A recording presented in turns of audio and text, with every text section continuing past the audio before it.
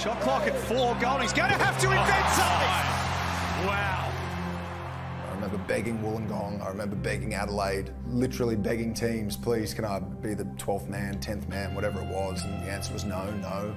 And I was kind of resigned to the fact that it's time to move on into a different profession and got a random message from Chris Anstey one night and just said, hey, do you want to come and play for Melbourne? I guess the rest is history. Melbourne The emotions of the second to first that year for me was so massive in that we welcomed our first child.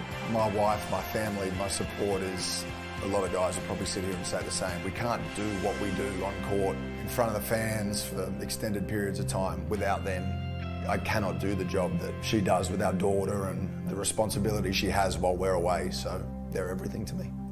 As you get older, things matter more and my father was a semi-professional sportsman as well, and I have flashing memories of, you know, being at the footy ground or whatever it may be.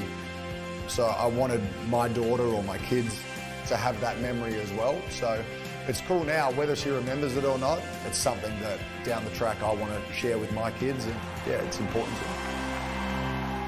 Uh, it's been a decorated career for Chris.